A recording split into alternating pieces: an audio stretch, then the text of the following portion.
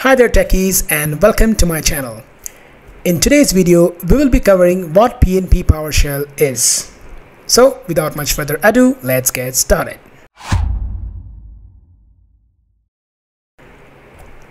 So the PNP PowerShell module is a cross-platform and a .NET framework-based PowerShell that can run on any operating system that supports .NET Core, like the Windows, Linux, Mac OS, etc.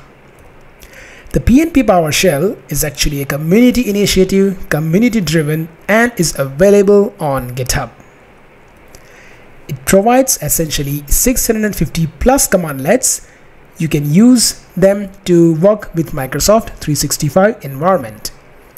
It can be connected to services like SharePoint Online, Microsoft Teams, Microsoft Planner, Microsoft Power Automate, and other services of M365.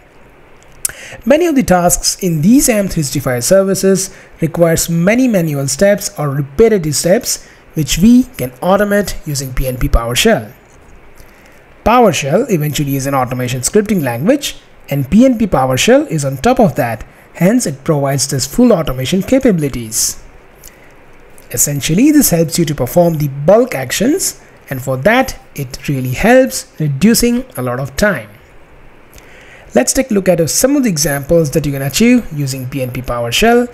It can really do vast number of things, but really just to give a quick idea, you can create really multiple site collections in one go. So if you have to create 100 sites manually, it's really going to take a long time. By providing all the input, you can do it very, very quickly with PNP PowerShell. Creating multiple Microsoft Teams in one go, similar to that. If you want to create 100 Microsoft Teams sites with different parameters, it'll take time with PNP PowerShell, you can achieve that really fast and quick. Adding items to the SharePoint list in bulk with some conditional logic, you can do that quickly.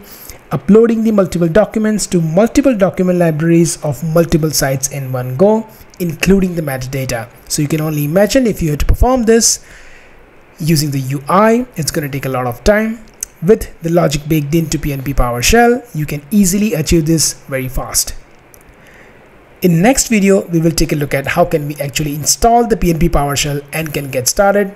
But for now, I thank you for watching the video. I'll see you in the next video. Thank you.